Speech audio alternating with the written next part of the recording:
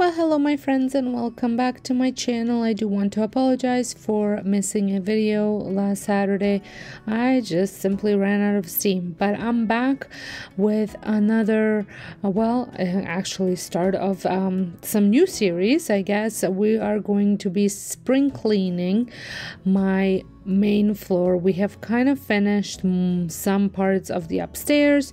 We have already organized the basement but now i'm going to start with my uh, main floor starting at the foyer and then we're to work our way back into the house I'm starting this a tad bit earlier because I want to get some of this stuff organized and done. We are going to be having some, we're supposed to be having some work done on our house, but not sure of the timeline and all this stuff. And I, originally I was like, oh, I'm just going to wait and not do it. But uh, then decided, well, I should be doing getting some house cleaned just so that way um, it's not all piled up on me at once when the um, when I'm gonna have to start um, moving stuff out of the house and things like that for the reno. So for this spring cleaning video, we are starting in the front foyer and we're gonna deep clean it, meaning wash all the baseboards, walls, windows on the inside, not outside, because currently it is minus 22 outside, so we won't be going outside yet. I think I'm probably gonna have a separate video on how to clean the windows how I clean the windows on the outside. But and then we're gonna also organize the little Bombay chest where we keep our mittens and hats and things like that and then also the coat closet.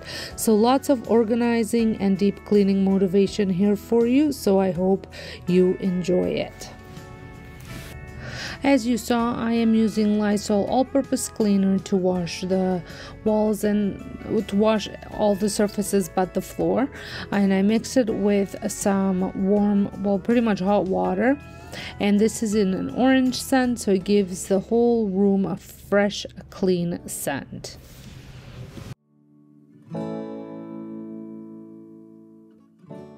I have this half wall between the living room and the foyer, and it seems to end up being some dumping ground for a lot of stuff, including my husband's mittens that he used or gloves that he used to add salt to our outside. We do use uh, pet safe salt, but it just left this huge stain, and I was a little bit worried that it wasn't gonna come off, but it came right off so I took everything off of it because I'm going to go through that little basket that's supposed to be just a key holder and couple things but it always ends up like I said being a dumping zone for many other things. So I'm, I took it off I'm going to organize it but uh, first I'm going to clean like I said uh, the, the ledge and I'm going to also wipe down these pillars. This one doesn't end up getting too too messy but the other one does get quite messy because one of the dogs that I have is part Newfie and he does drool not probably as much as the the full Newfie would but he does drool a little bit and I feel there's always drool on these pillars. I am planning on dressing these up um, with some maybe barn board when we are doing some renos because I think um, the pillars are not in anymore.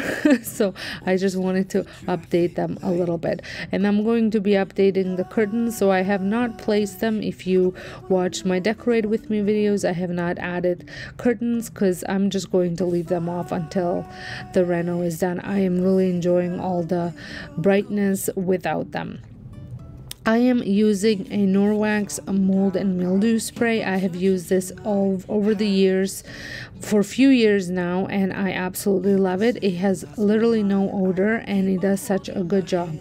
So I just spray in the corner of the windows because it does get so cold outside and it creates a almost like um um, water condensation um, because of the coldness outside and the warmth inside on the corner of the windows and uh, over time it does create a little bit of a I wouldn't even say was mold and mildew but it is a little black um, stuff all in the corners and this mold and mildew remover works really well for that and like I said has no odor. So I spray it on and then I leave it while I do other things and then go back to it and just wipe it off and it comes right off let me know if you would like to see like a, maybe like a full tutorial on how I do this uh, how I clean the little edges in the in the window to get them nice and clean I 100% can do this for you guys if that's something that you'd be interested in seeing.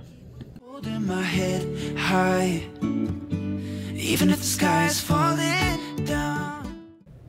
For the glass, I use a Method window cleaner. I've used this for several years as well, and I really like like it. I think it works just as well as Windex does, without all the heavy smells. I'm all about the the smells. I cannot handle some of the cleaning um, uh, cleaning uh, supplies the the smell that they have i think the lysol all-purpose cleaner is probably the extent of the smell. I can't even do pine sol but i can do lysol. It's weird.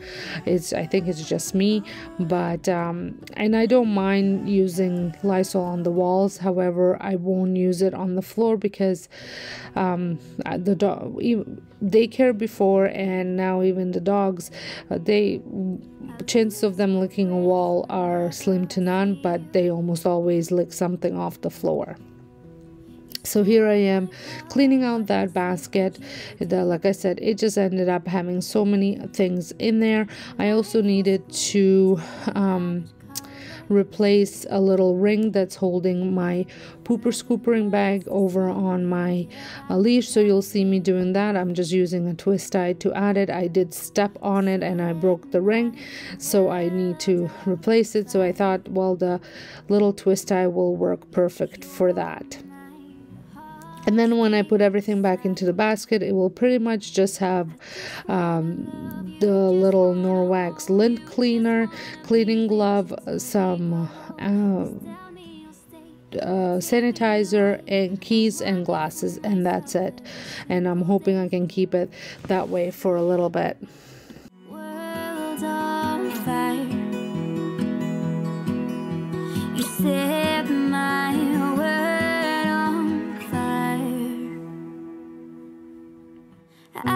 If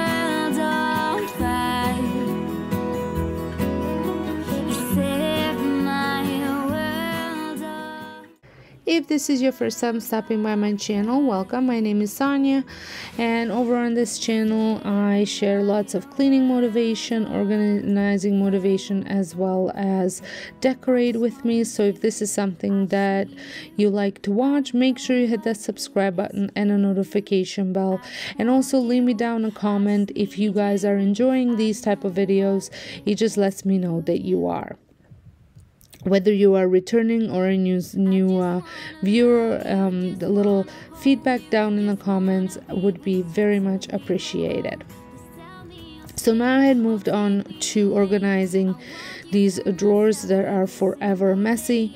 Um, i am just going through and i've done where i've decided to do um, one drawer for my husband and i and one drawer for my kids.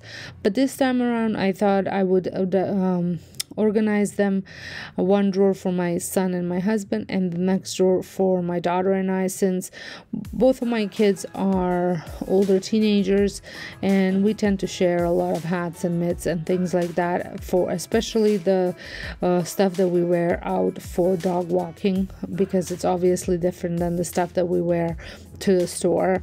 And then we also have a lot of um, items for snowboarding and just winter sports um, which is also different than from what you would wear every single day. But we tend i tend to share it with my daughter and my husband share his stuff with my son. So that's how i decided to organize these drawers.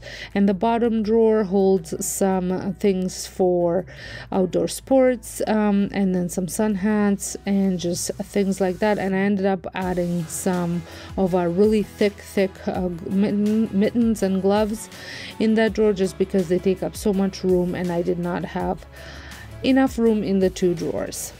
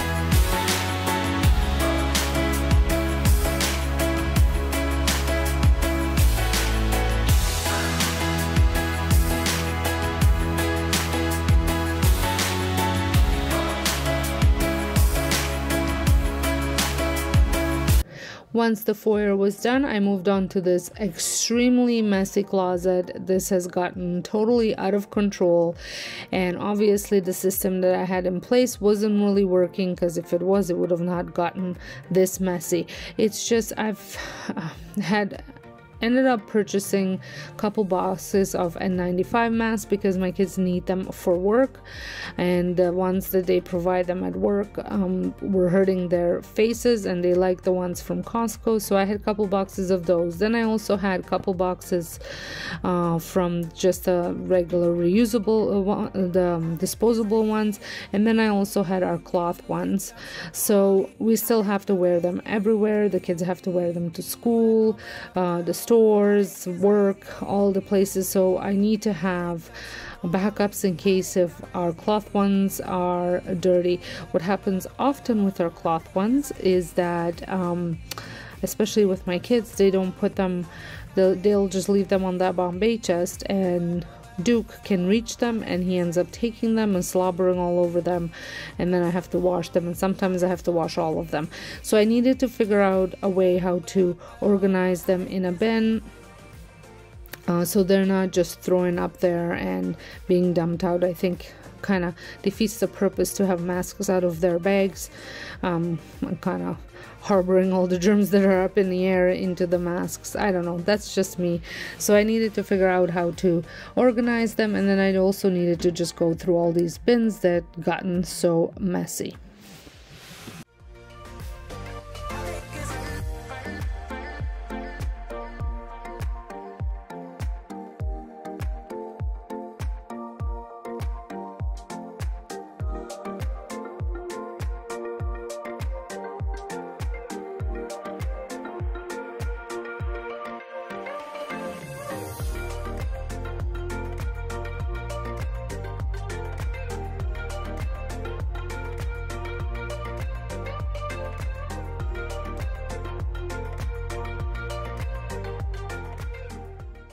Once I was done, I ended up uh, putting them back in place, and I did not realize that my camera had died at this point. So you only see me adding a couple items there, but at the end of the video, I will give you a little organized tour of where everything is and how I organized it.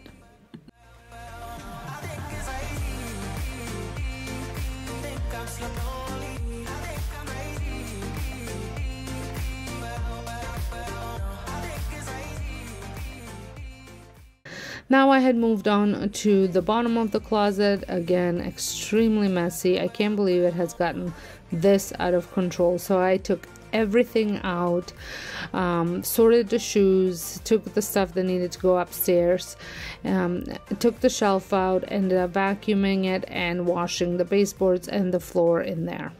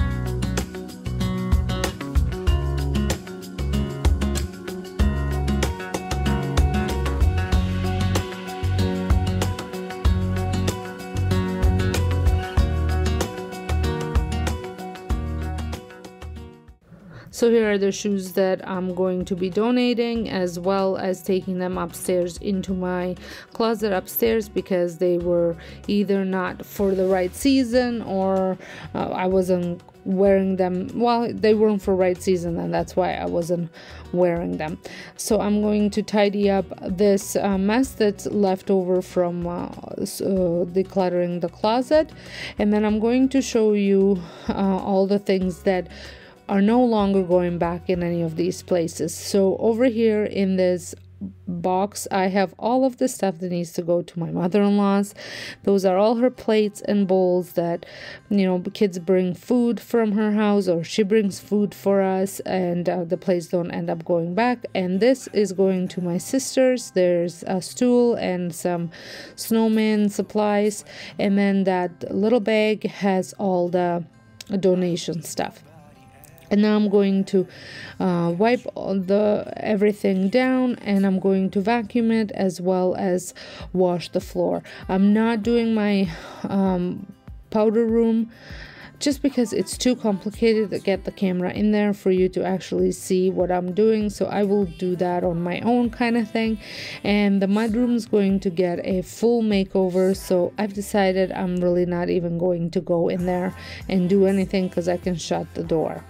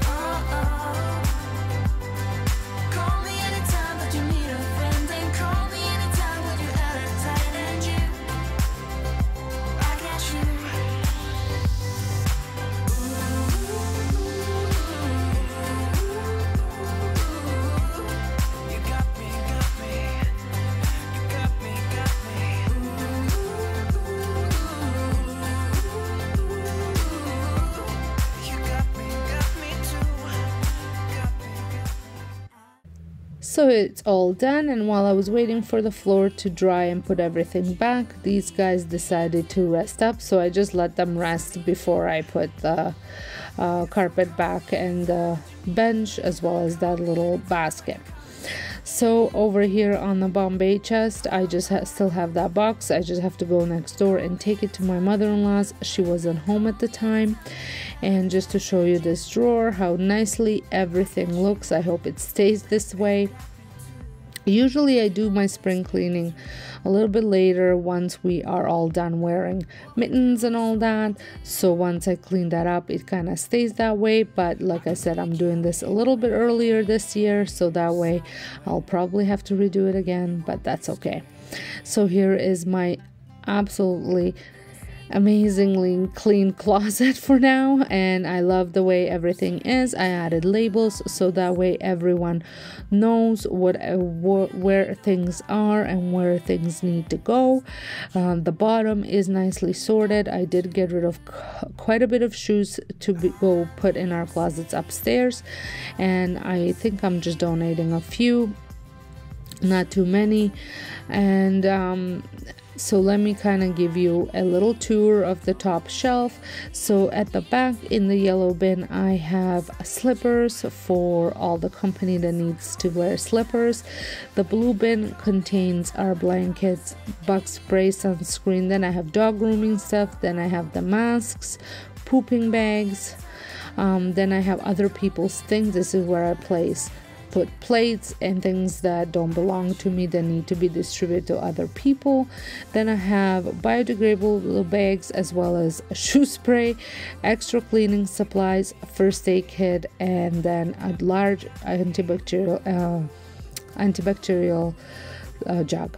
Well, I hope you had enjoyed this video. I hope it gave you the motivation that you needed to get your stuff done. And if you enjoyed this video, make sure you give me a thumbs up. Don't forget to hit that subscribe button. And I want to thank you all for watching and I'll see you all in my next video. Bye. I got you.